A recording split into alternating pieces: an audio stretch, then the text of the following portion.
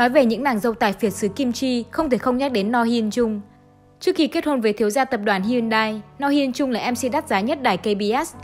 Bước vào cửa nhà hào môn, nữ phát thanh viên phải từ bỏ sự nghiệp thăng hoa để sống cuộc đời kín tiếng và để nguyên tắc khắt khe.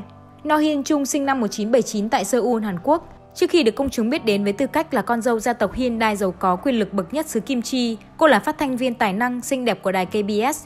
No Hyun Jung gây ấn tượng với khán giả nhờ gương mặt khả ái, thần thái rạng rỡ cùng lối dẫn dắt thông minh duyên dáng.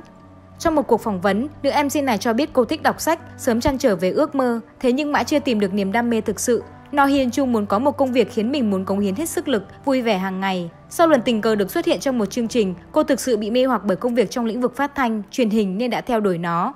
Để thực hiện ước mơ, No Hyun Chung ra sức học tập, trau dồi kiến thức, kỹ năng. Bằng nỗ lực và niềm đam mê cháy bỏng, người đẹp đã vượt qua kỳ thi ứng tuyển của đài KBS. Nhờ vẻ ngoài nổi bật, tư chất thông minh cùng học vấn thuộc top đầu nhà đài, No Hyun Chung nhanh chóng khẳng định được tài năng, bản lĩnh trong công việc.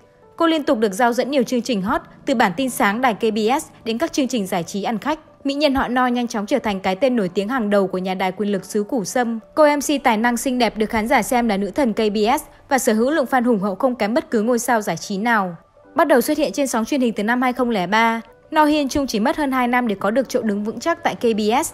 Năm 2006, khi sự nghiệp đang ở thời kỳ thăng hoa nhất, nữ thần vạn người mê của KBS gặp Chung Dae Sun, một doanh nhân trẻ thành đạt hơn cô 2 tuổi. Thiếu gia họ Chung là cháu nội của Chung Ju Jung, nhà sáng lập tập đoàn Hyundai và là con thứ ba của cố chủ tịch Hyundai Aluminium, Chung Mong Gu.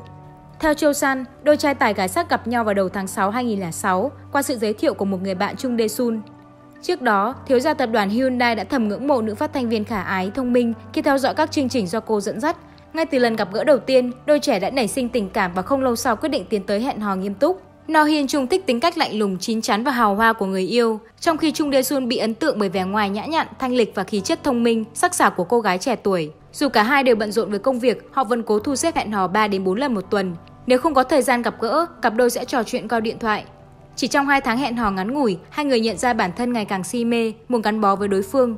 Trong một buổi hẹn hò tại nhà hàng, Chung Dae Sung đã bất ngờ ngỏ lời cầu hôn. Không cầu kỳ phô trương, vị thiếu gia giàu có chỉ giản dị bày tỏ em lấy anh nhé và nhận được cái gật đầu của No Hyun Jung. Tháng 8 năm 2006, viết nên cái kết ngôn tình bằng một đám cưới sang trọng, đẳng cấp nhưng kín tiếng. Chuyện tình của nữ MC trẻ tuổi và thiếu gia nhà giàu được truyền thông và dư luận xứ Hàn bàn tán suốt thời gian dài. Để bước vào cửa hào môn, No Hyun Jung phải đánh đổi sự nghiệp đang thăng hoa vào cuộc sống tự do, kiêu hãnh của một cô gái tuổi 27. Mỹ nhân chấp nhận bỏ công việc đang thành công rực rỡ của mình, lặng lẽ theo ông xã sang Mỹ, làm quen với cuộc sống nơi xứ người, lo vun vén tổ ấm nhỏ. Thời gian đầu, cuộc sống của mỹ nhân họ No vẫn chưa có nhiều thay đổi. Cô vẫn sống như trước đây, dành thời gian tập thể dục, tới dạp xem phim và học tiếng Anh. Cuộc sống của đôi vợ chồng trẻ không khác biệt so với mọi người là mấy. Bên cạnh đó, người đẹp cũng thừa nhận bản thân phải làm quen với những quy củ, nền nếp của nhà chồng, chấp nhận cuộc sống kín tiếng, ít tiếp xúc với công chúng. Năm 2007, nữ thần nổi tiếng một thời của KBS và ông xã tài phiệt sinh quý tử đầu lòng rồi chào đón con trai thứ hai hồi 2009. Suốt nhiều năm sau, cuộc hôn nhân của No Hyun Jung và Chung Dae Sun vẫn được truyền thông và công chúng nhắc đến với lòng ngưỡng mộ, ghen tị sâu sắc.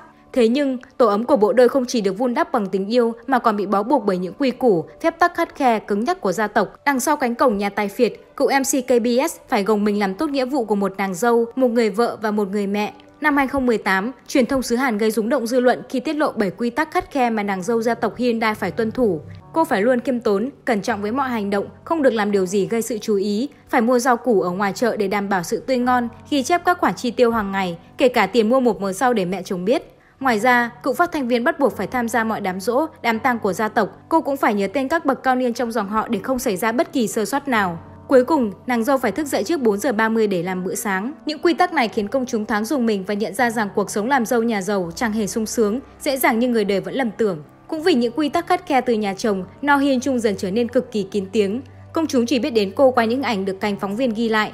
Ngoài tham gia các sự kiện liên quan đến gia tộc, những mối quan hệ kinh doanh của ông xã, mỹ nhân xinh đẹp gần như mất hút trước truyền thông. Trong những lần hiếm ho lọt vào ống kính, No Hyun Chung thường diện hanbok màu sắc nhã nhặn, quý phái hay những thiết kế thanh lịch nền nã giản dị. Phong cách thời trang của nàng dâu Chebon được nhận xét là đậm chất truyền thống và có phần bảo thủ, song cô không thể phá bỏ nguyên tắc lâu đời của gia đình chồng. Ở tuổi 42, No Hyun Chung không còn là cái tên được công chúng săn đón nồng nhiệt như xưa, nhan sắc nữ thần ngày nào cũng tàn phai vài phần qua năm tháng. Thế nhưng, bỏ qua cuộc sống làm dâu gia tộc bề thế với vô vàn quy tắc nghiêm khắc khiến nhiều người e sợ cậu MC vẫn được ngưỡng mộ bởi cuộc hôn nhân bền chặt suốt 14 năm bên người chồng giỏi giang, quyền lực cùng hai cậu con trai ngày càng một trưởng thành. Thoát khỏi hình ảnh nữ thần xinh đẹp, năng động và bản lĩnh ở tuổi đôi mươi, No Hyun Jung giờ là quý bà sang trọng, đằm thắm lặng lẽ đứng sau sự nghiệp rực rỡ của chồng.